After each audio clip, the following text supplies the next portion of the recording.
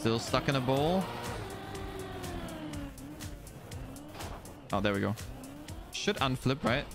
It's plastic. Surely this will unflip. Nice. Okay, now we go here. Checkpoint is right here. We just need to go up this thing. Now the only thing that could kill us here is a turtle.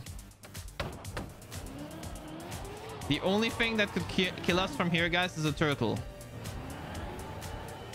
Surely it wouldn't... My car wouldn't turtle here, right? Surely.